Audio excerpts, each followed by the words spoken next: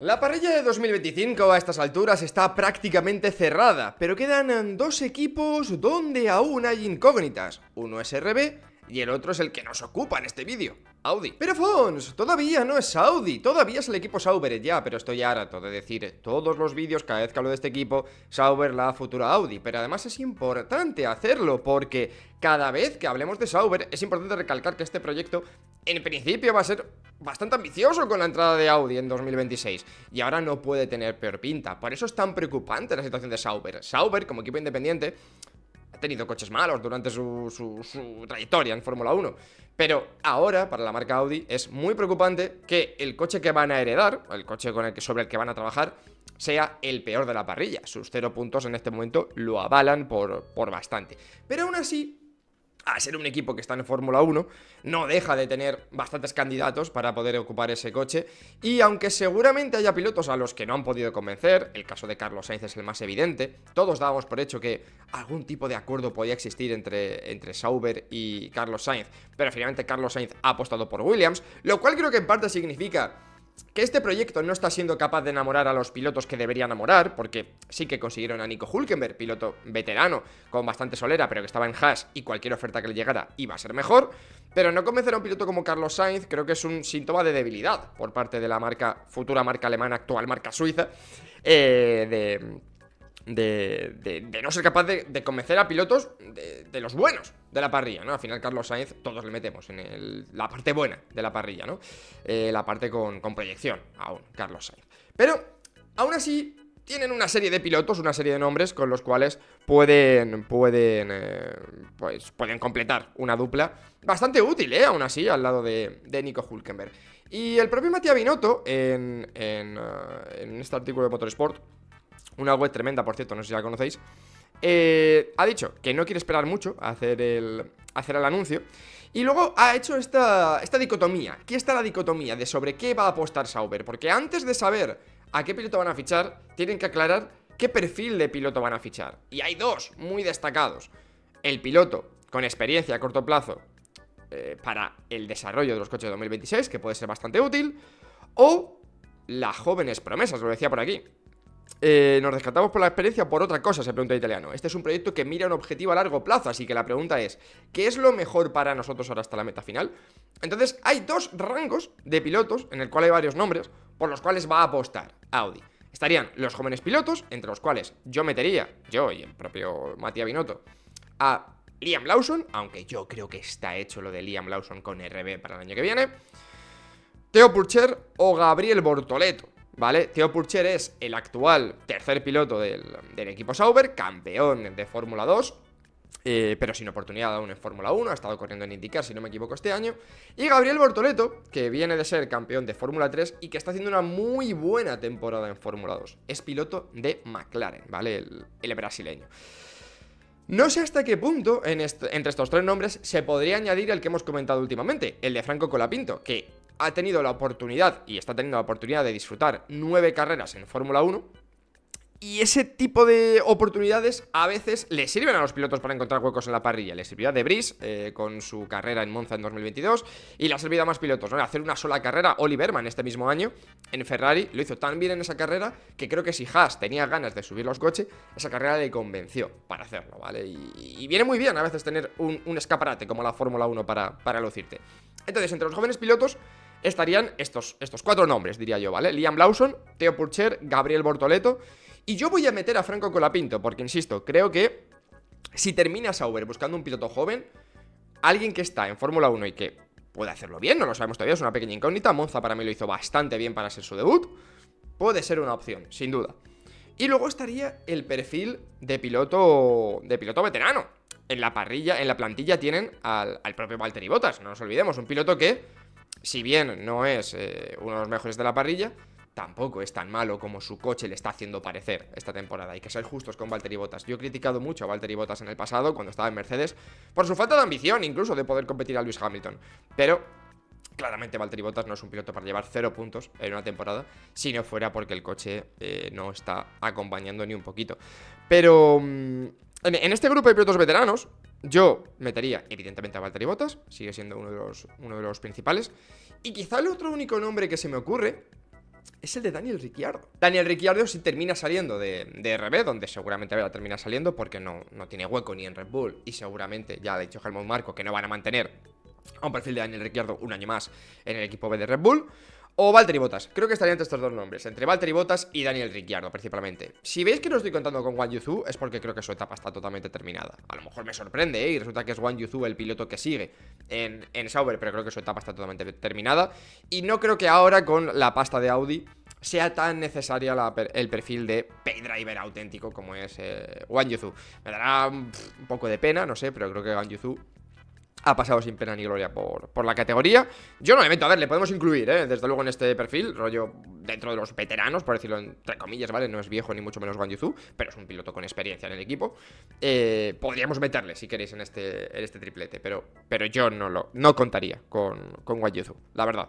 Entonces, tenemos como jóvenes pilotos Colapinto, Lawson, Bortoleto y De Burcher, y como veteranos, Ricciardo y Botas. Yo creo que no hay más pilotos en la ecuación ahora mismo. Todo el mundo podemos terminar sorprendidos, ¿no? Y que terminen fichando a Vettel, ¿no? El nombre de Sebastián Vettel ha sonado. Le podíamos meter en este de en este de, pilotos veteranos. Pero yo creo que Vettel está fuera por completo. Vettel lleva mm, dos años fuera por completo de la Fórmula 1 y fuera por completo del motorsport. Vettel no ha hecho nada en estos dos años. No, no ha estado compitiendo en nada. Ha hecho un par de mm, eventos, creo. Ha cogido el Aston Martin, me parece que lo cogió el año pasado en Silverstone, pudo ser. Tengo ese recuerdo. No ha hecho nada de, de competición durante dos años. Y yo creo que en la Fórmula actual no te puedes permitir repescar un piloto que lleva dos años sin, participar en nada, porque va a ser más un lastre que otra cosa. Y además recordemos que Sebastián Vettel no se fue precisamente en su mejor momento de forma de la categoría. Es un caso muy diferente al de, por ejemplo, Fernando Alonso. Entonces, con todos estos nombres sobre la mesa y teniendo en cuenta sobre qué va a apostar el equipo Audi, yo me la voy a jugar un poquito y voy a daros mi opinión sobre qué creo que van a fichar. Y el caso para decidirme sobre qué creo que van a hacer es eh, analizar qué tienen ahora. Y Sauber ahora mismo tiene para 2025 a Nico Hulkenberg, un piloto veterano, un piloto... Mm, no lo voy a mirar, pero me lo voy a jugar. 36 años creo que tiene Nico Hulkenberg. ¿Qué tal amigos? Bienvenidos a Dita Confons. Vamos a comprobar en directo si Nico Hulkenberg tiene 36 años. Estoy casi seguro de que sí. Nico Hulkenberg... 37, Nico, 37. Qué cerca, eh, qué cerca. Para haberme tirado el triple, qué cerca. Vale, o sea, un piloto veterano con experiencia en Fórmula 1, que lo ha hecho muy bien, curiosamente no tiene ningún podio, pero nadie, nadie duda de la calidad de, Nico Hulkenberg, que es un piloto que casi siempre ha tenido una máquina inferior a su talento, ¿vale? Esto es algo evidente. Entonces, con Nico Hulkenberg, Audi ya tiene el perfil de piloto veterano que les pueda ayudar a desarrollar el coche piloto veterano, además alemán, que aporta pues ese valor a la marca, entiendo, ¿no? A la marca Audi, en tanto que alemana, pues viene bien tener un piloto alemán. Por tanto, otra de las opciones, eh, que se habla mucho, por ejemplo, y no le meto en esta quiniela, es Mick Schumacher. Mick Schumacher con Matías Binotto tenía muy buena relación.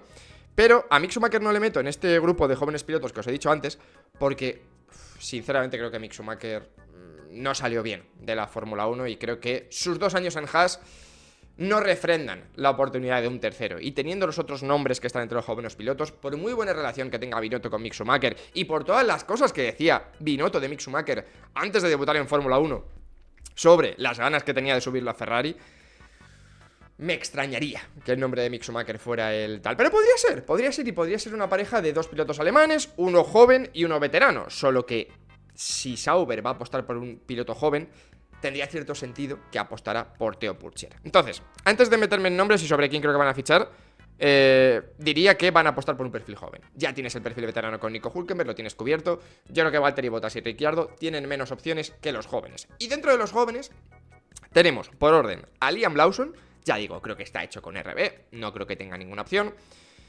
A Mick Schumacher, vamos a hablar de él, venga, por meterle. Eh, lo que os decía, piloto no lo hizo mal, no, no, fue un desastre de piloto desde luego en, en Haas. Pero yo creo que con el crédito un poco gastado. Ahora bien, sería su última oportunidad y el último clavo que le queda para estar en Fórmula 1. Pero yo no le doy muchas opciones. Teo Pulcher debería ser la opción, ¿no? Siendo el piloto del equipo Sauber, el piloto de desarrollo de Sauber y el que al que has estado manteniendo en Fórmula 2 y apoyando y tal. Tendría sentido que si tienes que apostar por un piloto joven, no busques eh, en otros sitios, no busques en, la cantera de Mercedes, en este caso, entre comillas, que es donde está eh, eh, Mick Schumacher, aunque bueno, viene de la Ferrari Driver Academy y tal, o busques en la de Williams, con Franco Colapinto. No, no tendría mucho sentido. Pero no sé si Sauber está para experimentos, no sé si Sauber para 2025 va a estar para darle una segunda oportunidad a Mick Schumacher eh, cuando están muy necesitados de conseguir resultados y de conseguir un coche competitivo para que 2026 sea un año medianamente ilusionante para el equipo, para el equipo Audi. Y luego estaría Bortoleto, el nombre de Gabriel Bortoleto, que a mí me gusta mucho. Yo lo que he visto en Fórmula 3, lo que le vi, y lo que le estoy viendo este año en Fórmula 2, a mí me gusta mucho Gabriel Bortoleto. Me gusta muchísimo, me parece un pilotazo. Pero vuelvo a lo de antes. Vas a buscar fuera lo que ya tienes dentro, porque Tío Purcher, es cierto, y él mismo lo dice, eh, me hace gracia porque lo dice aquí en el artículo al final. Em, por aquí, perdón, está por aquí la frase de Bortoleto. Eh, aquí al final. Ah, de Teo Purcher, perdón, de Teo Purcher. Teo Purcher lo único que no ha tenido es la oportunidad en Fórmula 1 como sí ha tenido con la pinta, ¿no? Y es lo que dice, lo hizo lo mejor que puede en la pista. Seguro que hay quien dice que ganar el campeonato del tercer año en la Fórmula 2 no tiene buena pinta. A ver, esto lo decimos todos, eh, este. Ganar el, el campeonato de Fórmula 2 en tu tercer año no es un buen síntoma aunque lo ganaras con 20 años. Es verdad que subió muy joven este chaval. Este chaval en Fórmula 3 tenía 16 años, era jovencísimo. Y ya se ha ganado de carrera más joven de esta categoría y en la Fórmula 3 y tal, tal, tal. No tengo que demostrar nada, solo necesito una oportunidad. Eso es todo. Y un poco de razón tiene. Quiero decir, al final, muchos buenos pilotos de Fórmula 2 nunca tienen la oportunidad de, debutar en, Fórmula 1 y nunca sabemos cómo de buenos pueden ser. Está Felipe Drugovic, por ejemplo, en la misma situación. Entonces, veremos qué hacen. Yo me la voy a jugar, ¿vale? Ya he dicho que en este vídeo me la voy a jugar un poquito. Yo qué sé, voy a sacar la conclusión a la que creo que puede llegar Sauber. No creo que en este momento ni el propio Matías Binotto tenga claro a quién fichar. Pero si yo tuviera que apostar por alguien, creo, creo que van a apostar por Teo Purcher. Creo. Yo creo que el ejemplo que ha hecho, por ejemplo, Alpine con Jack Duhan, de apostar por su piloto joven que llevaba un año fuera y tal, pero, apostar por él, puede sentar precedente y creo que van a apostar por Teo Purcher. Creo, ¿eh? Hablo de creencia pura, hablo de especulación, no tengo información, pero tendría sentido que apostaran por un perfil joven teniendo ya a Nico Hulkenberg al lado y por el piloto que han estado formando. ¿No? Yo creo que tendría algo de, algo de sentido. Si me preguntáis qué querría, hombre, yo por querer que vuelva Vettel, ¿no? Yo qué sé, por, molaría, ¿no? Tener otra vez un tetracampeón del mundo en, parrilla. Pero, pero, vamos, que eso no va a pasar, entonces no, no lo incluyo. O también me gustaría que tuviera una oportunidad Franco con la Pinto, la verdad. Eh, lo está haciendo muy bien, en esta, lo hizo muy bien en Monza y creo que lo va a seguir haciendo muy bien en las últimas carreras. E igual hace temblar un poco las opciones de, de, de Ya veremos. Yo lo que diría es que Sauber va a apostar por un piloto joven. ¿Vale? En general por un piloto joven, ya os digo, entre Teo Purcher, Liam Lawson, Franco Colapinto, Gabriel Bortoleto, Mick Schumacher, no lo sé, me extrañaría.